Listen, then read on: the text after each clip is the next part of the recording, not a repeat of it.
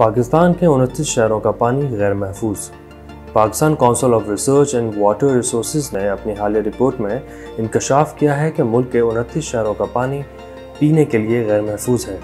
मुल्क में दस्तियाब पानी के ज़राए का तकरीबन इकसठ फ़ीसद पानी जरासीम से आलूदा पाया गया है। मुल्तान, चौरानवे फ़ीसद, कराची, तिरानवे फ़ीसद, बदीन, बानवे फ़ीसद, हैदराबाद अस्सी फ़ीसद और बहावलपुर का छिहत्तर फ़ीसद पानी मुजर सेहत पाया गया है।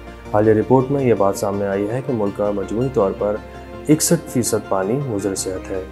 मुल्क के उनतीस शहरों से पानी के चार सौ पैंतीस नमूने कौमी मैार के तयशुदा पैमाने पर जांचे गए। Pakistan Council of Research in Water Resource 2001 से मुल्क में पानी के साफ़ पानी की जाँच पर मामूर है।